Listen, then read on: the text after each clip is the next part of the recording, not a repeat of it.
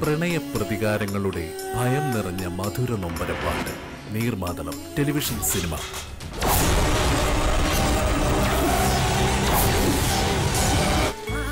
August ആറ് ഞായറാഴ്ച വൈകുന്നേരം ഏഴ് മണിക്ക് ഏഷ്യാനെറ്റ് പ്ലസിൽ.